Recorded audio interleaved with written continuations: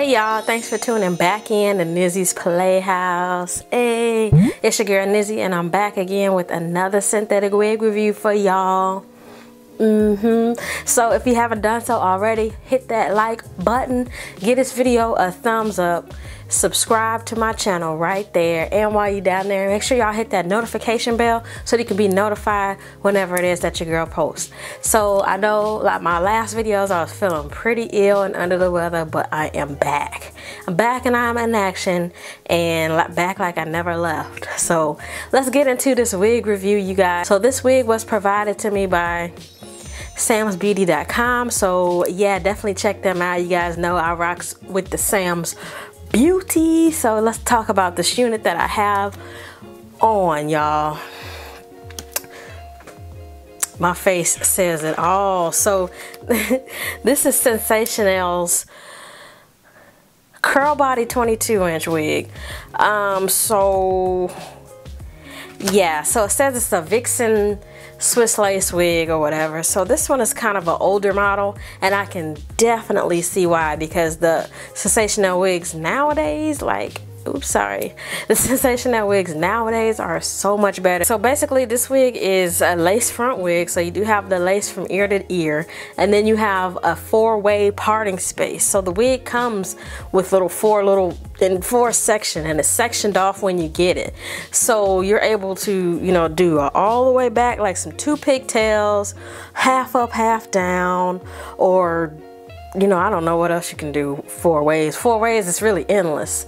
Um, and it has lace in the back so you're able to pull it up into a ponytail. But let me tell y'all the tea. I can't get this thing around my big head ass. Big ass head.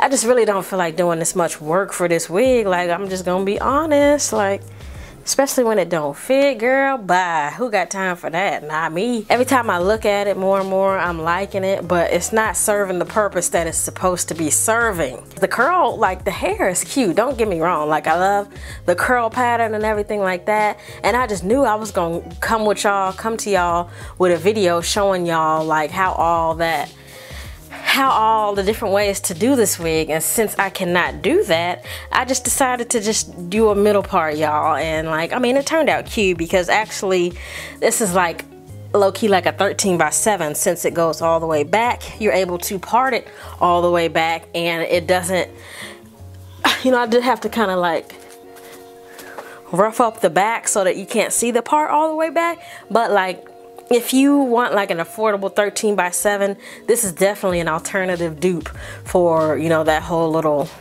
new trend or whatever that's going on. So yeah um the part is also kind of like pre-plucked. All I did was pull out a few hairs in the front to open the part up and then I put my little powder in and, and um, also apply some heat.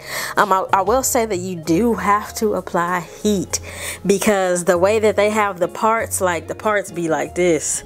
Y'all know what I'm talking about. Like you have to like flatten it down with some heat. I don't think I would recommend this wig to anyone. Um, it's real cute if you want to do a middle part. It's real cute. If you like it like this, then get it.